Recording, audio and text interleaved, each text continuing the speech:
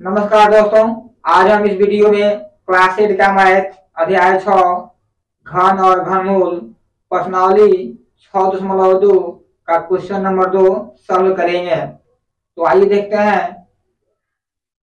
निम्नलिखित में से प्रत्येक संख्या के लिए वह छोटी से छोटी संख्या बताएँ, जिससे इस संख्या को गुणा करने पर वह एक पूर्ण घन बन जाए।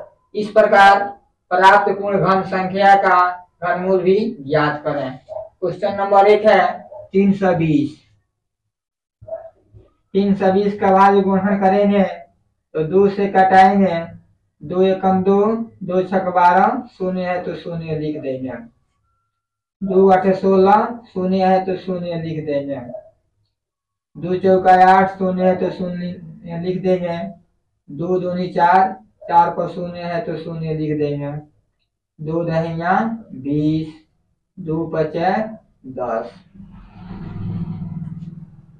तीन सौ बीस का भाज्य गुणनखंड किए हैं।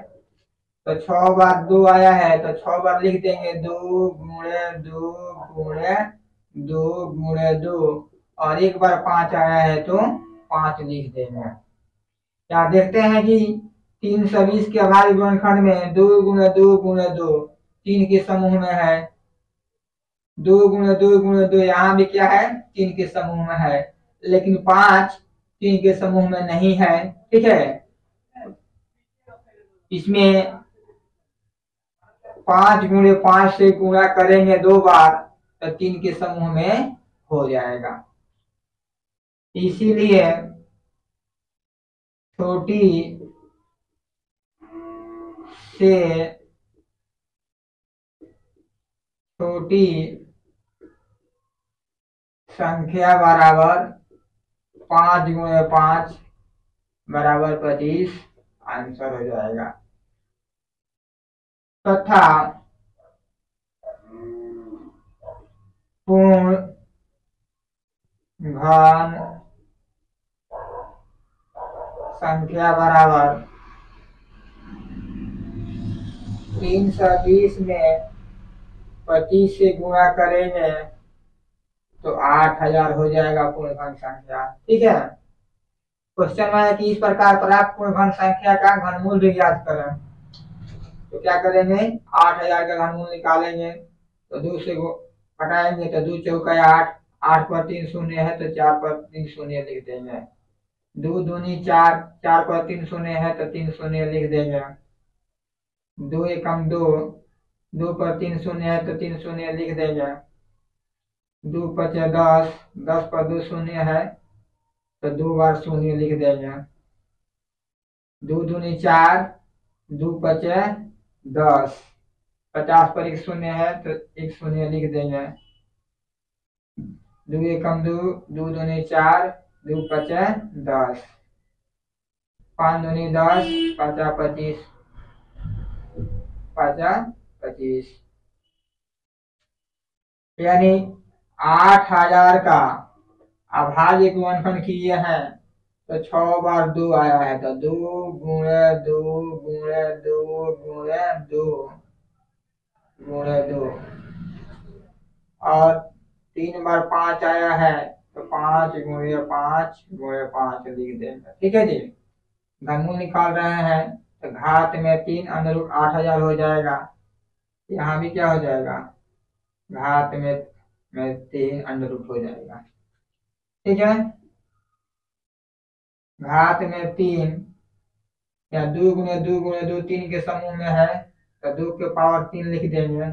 यहाँ भी दो गुणे दो तीन के समूह में लिख में है तो दो के पावर तीन लिख देंगे। यहाँ देखते हैं कि यहाँ भी पानी में पाँच क्या है? तीन के समूह में है। तो पाँच के पावर तीन लिख देंगे। ठीक है जी? रूट हटेगा, पावर दो खत्म हो जाएगा। तो दो गुणे दो गुणे पाँच। दो में दो से गुणा होगा चार चार में पाँच से गुणा हो जाएगा बीस। आंसर। ठीक है? ये क्या हो जाएगा? प्राप्त पूर्ण घन संख्या का घनमूल हो जाएगा। कितना? बीस आंसर। ठीक है जी? क्वेश्चन नंबर दो है। एक हज़ार तीन सौ बावन। इसका भाई गुणन करेंगे तो दो से कटाएँगे, दो छक बारह, दो सत चौदह, दो छक बारह। दो तीन छ दो तीन छ दो आठ सोलह। दो एकम दो दो छक बारह, दो नौ अठारह। दो सौ नहीं कटेगा, तेरह से कटेगा। तो तेरह से कटाएँगे तेरह से भाग करेंगे एक सौ उनहत्तर में तो क्या हो जाएगा जी? तेरह हो जाएगा। एक हज़ार तीन सौ बावन का भाजी गुणनखंड किया है। तो तीन बार दो आया है तो तीन बार लिख देंगे दो गुणे दो। और दो बार तेरह आया है तो दो बार लिख देंगे तेरह गुणे तेरह। यहाँ देखते हैं कि एक हज़ार तीन सौ बावन के अभाज्य गुणनखंड में दो गुणे दो गुणे दो तीन के समूह में है। लेकिन तेरह गुणे तेरह तीन के समूह में नहीं है। क्वेश्चन है कि प्रतीक संख्या के लिए वह छोटी से छोटी संख्या बताएँ। जिससे इस संख्या को गुणा करने पर वह एक पूर्ण घन बन जाए। ठीक है जी? इसमें एक तेरह से गुणा कर देंगे तो क्या हो जाएगा? पूर्ण घन बन जाएगा। ठीक है? इसीलिए छोटी से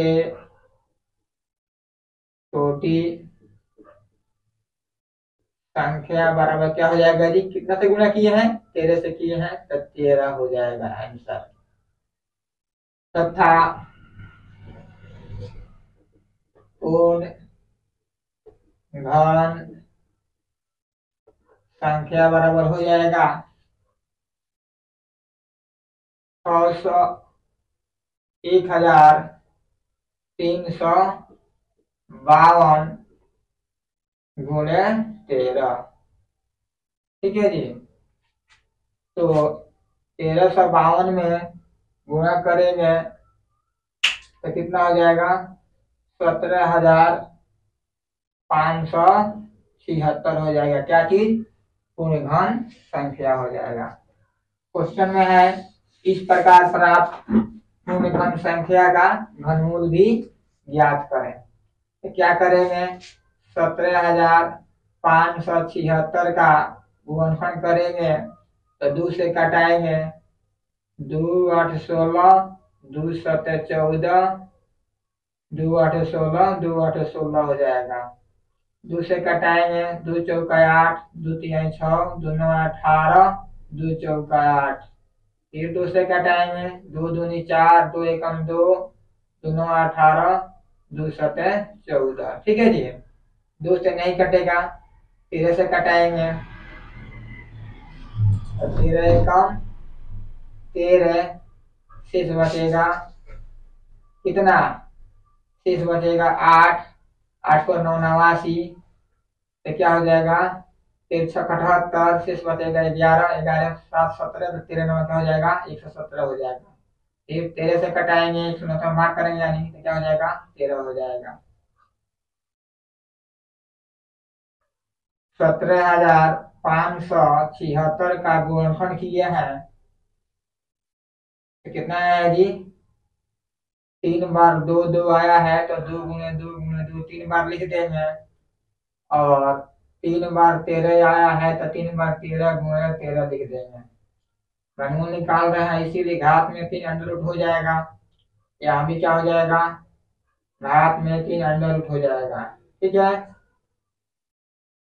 यहाँ देखते हैं कि दो गुने दो गुने दो तीन के समूह में है तो दो के पावर तीन लिख देंगे। तेरह गुने तेरह भी क्या है? तीन के समूह में है तो तेरह के पावर तीन लिख देंगे। ठीक है? रूट हटेगा पावर तीन खत्म हो जाएगा, यानी दो गुणे तेरह। कितना हो जाएगा? तेरह में दो से गुणा करेंगे, छब्बीस आंसर हो जाएगा। यानी प्राप्त पूर्ण घन संख्या का घनमूल छब्बीस हो जाएगा। ठीक है जी? इसी प्रकार क्वेश्चन नंबर तीन, चार और पाँच बनेगा। ठीक है जी? अगर ये वीडियो पसंद आया हो तो चैनल को लाइक और सब्सक्राइब कीजिएगा। धन्यवाद।